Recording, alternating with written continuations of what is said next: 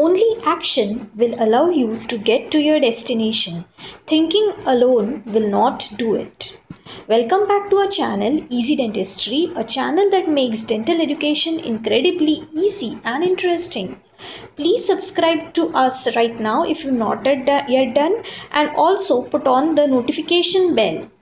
So today's lecture is on torus mandibularis. This is an important short answer question asked in exam.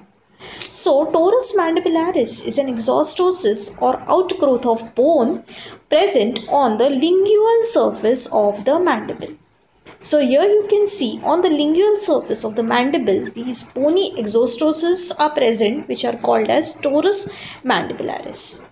Now, the etiology, it is of unknown origin and a genetic or ethnic background is suggested.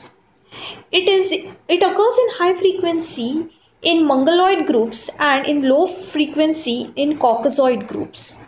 So, Mongolians are more affected by torus mandibularis. A hereditary pattern of inheritance is also noted. The parents with a history of torus mandibularis have children with the same lesion.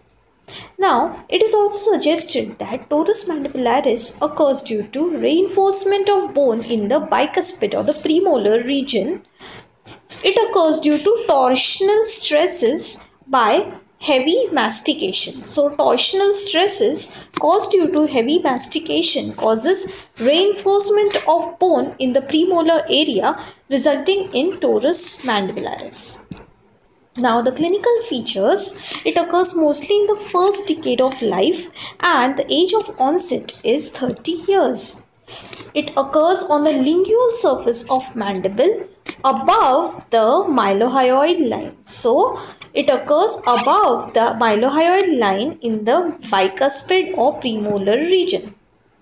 Most of the lesions are bilateral. It may also occur unilaterally in 20% cases.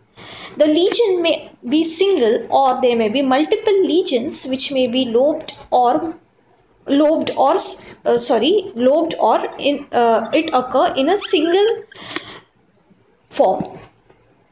So here you can see uh, the bilateral torus mandibularis. Here you can see the lobulated form of torus mandibularis.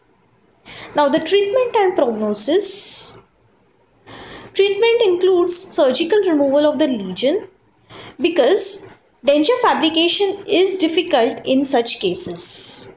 Now the histopathology, torus mandibularis is comp composed of dense compact bone and sometimes there may be a shell of compact bone with a center of cancellous bone. So here you can see dense compact bone in the histology of torus mandibularis.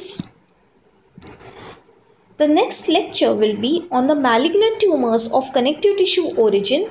First lesion we will be studying is fibrosarcoma. That's all for now. Happy studying.